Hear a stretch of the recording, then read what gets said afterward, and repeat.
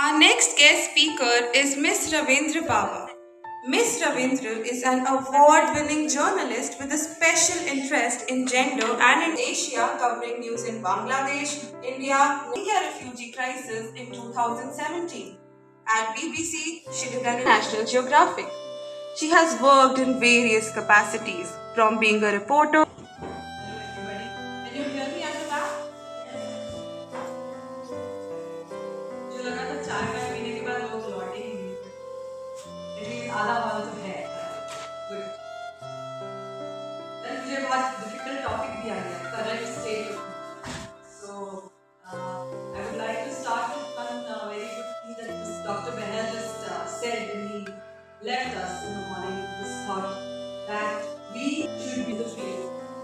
Responsible communicator का जो role है हमारा उसको हम अच्छे से अदा नहीं करते ये मेरा मानना है this role of a responsible communicator that doctor Behl spoke about this point and also uh, my colleague Robin was talking about how it is important for us to uh, you know, stick to media freedom but at the same time be responsible and not just uh, go with the flow of sensationalizing issues so that's what I'm going to talk about so I would like to start by asking some of you if you can share and we can start the slideshow.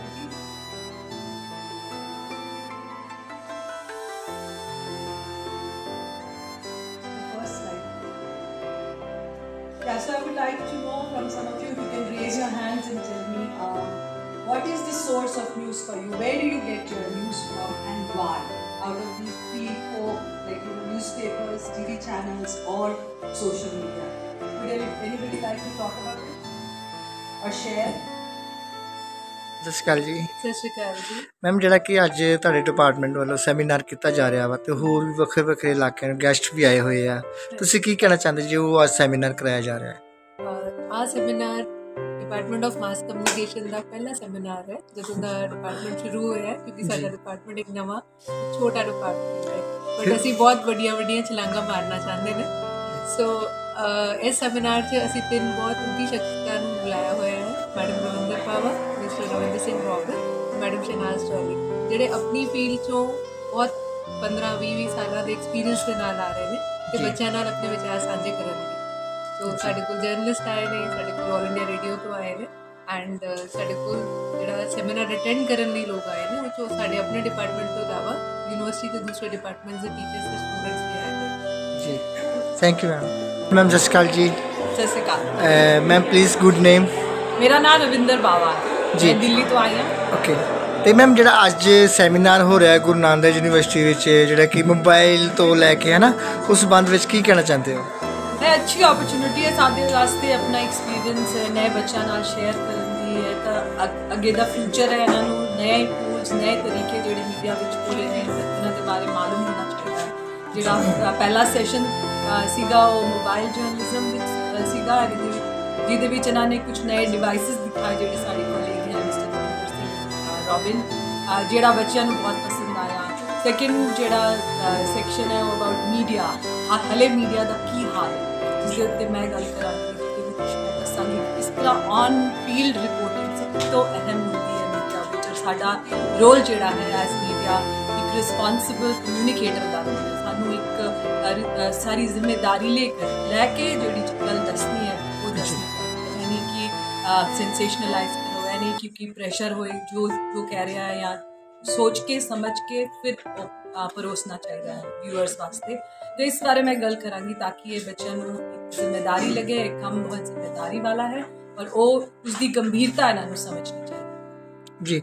Ma'am ਜ਼ਿਆਦਾਤਰ ਜਿਹੜੇ ਕਿ journalism ਕਰ ਰਹੇ ਆ ਜਾਂ ਖਬਰਾਂ ਅੱਛੀਆਂ ਲਗਾ ਰਹੇ ਆ ਕਈ ਵਾਰ ਉਹਨਾਂ ਨੇ ਜਰਨਲਿਜ਼ਮ ਨਹੀਂ ਕੀਤੀ ਹੁੰਦੀ ਉਹਨਾਂ ਨੂੰ ਬਹੁਤ ਪਰੇਸ਼ਾਨੀ ਜਿਹੜੀ ਝੱਲਣੀ ਪੈਂਦੀ ਹੈ ਉਹ ਕੀ ਕਰ ਸਕਦੇ ਉਹਦੇ ਬਾਰੇ ਜ਼ਰੂਰ ਦੱਸੋ। ਦੇਖੋ ਅੱਜ ਦਾ ਮਾਹੌਲ ਹੈ ਉਹ ਜਰਨਲਿਸਟ ਵਾਸਤੇ ਇੱਕ ਥ੍ਰੈਟਨਿੰਗ ਮਾਹੌਲ ਹੈ। ਇਸ ਮਾਹੌਲ ਵਿੱਚ ਅ, ਸੱਚ ਕਹਿਣਾ ਬੜਾ ਮੁਸ਼ਕਿਲ ਹੈ। ਅਸੀਂ ਦੇਖ ਚੁੱਕੇ ਹਾਂ ਪਿਛਲੇ ਕੁਝ ਸਾਲਾਂ ਵਿੱਚ ਔਰ ਪਿਛਲੇ ਕੁਝ ਮਹੀਨਾ ਇਸੇ ਸਾਲ ਬੀਬੀਸੀ ਦੇ ਉੱਤੇ ਰੇਡ ਹੋਇਆ। ਉਸ ਤੋਂ ਪਹਿਲਾਂ ਦਾਨ ਦੈਨਿਕ ਭਾਸਕਰ ਦੇ ਉੱਤੇ ਰੇਡ ਹੋਇਆ। ਕਿੰਨੇ ਪੱਤਰਕਾਰ ਹਰੀ ਜੇਲ੍ਹ ਵਿੱਚ ਨੇ। ਪਿਛਲੇ ਸਾਲ ਸਭ ਤੋਂ ਜ਼ਿਆਦਾ ਪਾਰਟੀ ਭਾਰਤੀ ਪੱਤਰਕਾਰਾਂ ਦੀ ਮੌਤ ਹੋਈ ਤਾਂ ਇਹ ਜਿਹੜੀ ਜ਼ਿੰਮੇਵਾਰੀ ਵਾਲਾ ਕੰਮ ਹੈ, ਹੁਣ ਜੋਖਿਮ ਵਾਲਾ ਵੀ ਹੋ ਹੈ। ਤੇ ਜਿਹੜੇ ਲੋਕ ਆਪਣੇ ਤਰ, ਆਪਣੇ ਸਤਰ ਤੇ ਇੱਕ YouTube ਚੈਨਲ ਦੇ ਜ਼ਰੀਏ ਸਭ ਗੱਲਾਂ ਬਾਤਾਂ ਕਹਿ ਰਹੇ ਨੇ, ਬਹੁਤ ਜ਼ਰੂਰੀ ਹੈ ਸਾਡੀ ਬਿਰਾਦਰੀ ਨੂੰ ਨਾਲ ਜੁੜ ਕੇ ਔਰ ਇਸ ਪ੍ਰਜਾਤੰਤਰ ਨੂੰ ਬਚਾਉਣ ਦੀ ਕੋਸ਼ਿਸ਼ ਹੈ ਜੋ ਕਰਨੀ ਚਾਹੀਦੀ ਹੈ, ਸਾਨੂੰ ਸਭ ਨੂੰ ਮਿਲ ਇਕਜੁੱਟ ਹੋकर ਕੇ ਕੰਮ ਕਰਨਾ ਚਾਹੀਦਾ ਹੈ। ਐਸੀ ਤਰੀਕੇ ਦਾ ਨਾਲ ਲੋਕ ਬਚ ਪਾਉਣਗੇ ਅਦਰਵਾਈਜ਼ ਬੜਾ ਮੁਸ਼ਕਿਲ ਹੈ ਸਰਵਾਈਵ ਜੀ ਮੈਮ ਜਿਸ ਤਰ੍ਹਾਂ ਕਿ ਆਪਾਂ ਦੇਖ ਰਹੇ ਦਿਨੋ ਦਿਨ ਪੱਤਰਕਾਰਾਂ ਨਾਲ ਬਹੁਤ ਜ਼ਿਆਦਾ ਗਲਤ ਹੋ ਰਿਹਾ ਵਾ ਤੇ ਉਸ ਬਾਰੇ ਕੀ ਕਹਿਣਾ ਚਾਹੁੰਦੇ ਹੋ अपनी लड़ाई जारी रखनी है हमको हमको अपनी लड़ाई पूरी जिम्मेदारी के साथ जारी रखनी है मुश्किलें आएंगी और जैसा होता है मुश्किलें आती हैं एक ऑन फील्ड रिपोर्टिंग फैक्ट्स और फिगर्स के साथ रिपोर्टिंग करना जो एक पुराना तरीका था उस पर शायद फिर जर्नलिस्ट को वापस आना पड़ेगा जो सरकार कहे या जो कोई कंपनी कहे या जो एक अ, एक तरह के नैरेटिव को सेटअप करने की अगर प्रेशर डाले तो उससे एक तोड़ यही है कि अगर हम फैक्ट्स एंड फिगर्स जनता के सामने। कि सही में अ, क्या जो सरकारें वादा करके आती हैं उन्होंने उसको खरा उस वादे पर उतरी है क्या वो पैसा लोगों को मिला है क्या वो किसानों की जो मांग थी वो पूरी हुई है।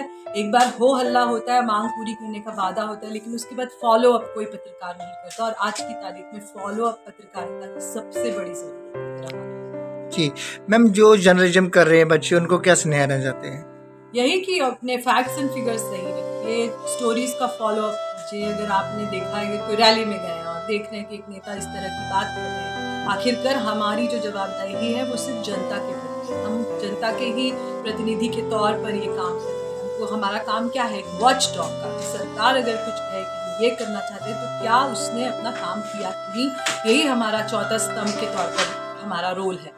तो इस रोल को अगर वो समझें और इसी के डायरेक्शन में अगर चलेंगे तो शायद अच्छा काम कर पाएंगे हालांकि उस अच्छे काम की अभी जो अ, करने की गुंजाइश है वो बहुत कम है लेकिन फिर भी ये लड़ाई जारी रखनी ਜੀ ਥੈਂਕ ਯੂ ਮੈਮ ਉਸ ਸੰਬੰਧ ਵਿੱਚ ਕੀ ਕਹਿਣਾ ਚਾਹੁੰਦੇ ਹੋ ਇਹਨਾਂ ਦੀ ਯੂਨੀਵਰਸਿਟੀ ਦਾ ਉਪਰਾਲਾ ਹੈਗਾ ਹੈ ਇਹਨਾਂ ਦੀ ਮਾਸ ਕਮਿਊਨੀਕੇਸ਼ਨ ਜਿਹੜਾ ਡਿਪਾਰਟਮੈਂਟ ਹੈ ਉਹਨੇ ਇੱਕ ਸੈਮੀਨਾਰ ਕੀਤਾ ਹੈ ਜਿਹੜਾ ਕਰੰਟ ਐਸਪੈਕਟ ਆਫ ਮੀਡੀਆ ਉਹਨੂੰ ਲੈ ਕੇ ਮੈਂ ਮੈਨੂੰ ਮੇਰਾ ਨਾਮ ਬਰਿੰਦਰ ਸਿੰਘ ਰਾਵਨ ਯੂਨੀਵਰਸਿਟੀ ਨੇ ਬੁਲਾਇਆ ਸੀਗਾ ਮੋਬਾਈਲ ਜਰਨਲਿਜ਼ਮ ਦੇ ਉੱਤੇ, ਜੋ ਨਵੇਂ ਗੈਜਟਸ ਆ ਰਹੇ ਨੇ, ਉਹ ਇਕਵਿਪਮੈਂਟ ਨੂੰ ਤੁਸੀਂ ਕਿਵੇਂ ਯੂਟਿਲਾਈਜ਼ ਕਰਦੇ ਹੋ? ਅੱਜ ਦੇ ਦੌਰ ਵਿੱਚ। ਉਸ ਨੂੰ ਲੈ ਕੇ ਵੱਡੇ ਕੈਮਰੇ ਨੂੰ ਛੱਡ ਕੇ ਕਿਵੇਂ ਲੋਕ ਮੋਬਾਈਲ ਜਰਨਲਿਜ਼ਮ ਕਰ ਰਹੇ ਨੇ, ਉਹਦੇ ਉੱਤੇ ਸੀ। ਇਹ ਚੰਗਾ ਹੁੰਦਾ। ਇਸ ਤਰ੍ਹਾਂ ਦੇ ਸੈਮੀਨਾਰਸ ਕਰਾਉਣੇ ਸੰਗੋਸ਼ਟੀਆਂ ਕਰਾਉਣੀਆਂ, ਜਿਹੜੀਆਂ ਸਾਡੀ ਨਵੀਂ ਪਨੀਰੀ ਹੈ ਨਵੇਂ ਜਰਨਲਿਸਟ ਆ ਰਹੇ ਨੇ, ਉਹਨਾਂ ਨੂੰ ਨੌਕਰੀਆਂ ਦੇ ਇਲਾਵਾ ਉਹਨਾਂ ਨੂੰ ਐਂਟਰਪ੍ਰੀਨਿਓਰ ਕਿਵੇਂ ਬਣਾਉਣਾ? ਉਹ ਆਪਣੇ ਆਪ ਆਪਣੀਆਂ ਕੰਪਨੀਆਂ ਕਿਵੇਂ ਖੜੇ ਕਰ ਉਹ ਥੋੜੇ ਪੈਸੇ ਲਾ ਕੇ ਉਹ ਗੱਲਾਂ ਸਿੱਖੇ ਇਹ ਸੈਮੀਨਾਰ ਉਹਦੇ ਬਾਰੇ ਹੈ ਮੇਰੇ ਇਲਾਵਾ ਰਵਿੰਦਰ ਬਾਬਾ ਜੀ ਹੈਗੇ ਨੇ ਬਹੁਤ ਸੀਨੀਅਰ ਜਰਨਲਿਸਟ ਉਹਨਾਂ ਨੂੰ ਕੰਟੈਂਟ ਰਾਈਟਿੰਗ ਬਾਰੇ ਦੱਸਣਗੇ ਸ਼ਿਨਾਜ ਜੀ ਨੇ ਏਆਈਆਰ ਤੋਂ ਉਹ ਦੱਸਣਗੇ ਔਰ ਇਹਦੇ ਇਲਾਵਾ ਫੋਟੋਗ੍ਰਾਫੀ ਬਾਰੇ ਅਮਰਿੰਦਰ ਸਿੰਘ ਉਹ ਦੱਸਣਗੇ ਉਹ ਇਹ ਸੈਮੀਨਾਰਸ ਹੋਣੇ ਚੰਗੇ ਹੁੰਦੇ ਆ ਸੰਗੋਸ਼ਟੀਆਂ ਚੰਗੀਆਂ ਹੁੰਦੀਆਂ ਆਪਣੇ ਐਕਸਪੀਰੀਐਂਸਸ ਸਾਨੂੰ ਸ਼ੇਅਰ ਕਰਨੇ ਚਾਹੀਦੇ ਜੀ ਮੈਮ ਸਤਿ ਸ਼੍ਰੀ ਅਕਾਲ ਜੀ। ਮੈਮ ਜਿਸ ਤਰ੍ਹਾਂ ਕਿ ਅੱਜ ਤੁਸੀਂ ਗੁਰੂ ਨਾਨਕ ਯੂਨੀਵਰਸਿਟੀ ਦੇ ਪੀੜੇ ਆਏ ਜੀ ਅੱਜ ਸੈਮੀਨਾਰ ਹੋ ਰਿਹਾ ਵਾ ਤੇ ਰੇਡੀਓ ਤੇ ਵੀ ਤੁਹਾਡਾ ਕਾਫੀ ਚਰਚਾ ਹੁੰਦੀ ਰਹਿੰਦੀ ਹੈ ਤੇ ਕੀ ਕਹਿਣਾ ਚਾਹੁੰਦੇ ਜੋ ਅੱਜ ਸੈਮੀਨਾਰ ਚੱਲ ਰਿਹਾ ਹੈ ਇਹ ਸਭ ਤੋਂ ਪਹਿਲੇ ਆਪਣਾ ਨਾਮ ਸਭ ਤੋਂ ਪਹਿਲੇ ਆਪਣਾ ਪਲੀਜ਼ ਮੈਂ ਸ਼ਾਹਨਾਜ਼ ਰੋਲੀ ਬੋੜਾ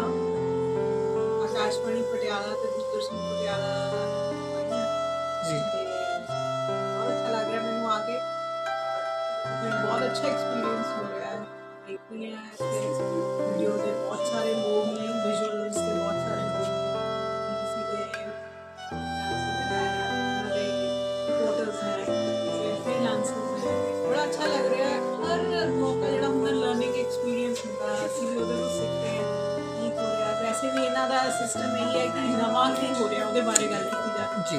ਮੈਂ ਇਹ ਸਿੱਖ ਰਹੀ ਹਾਂ ਕਿ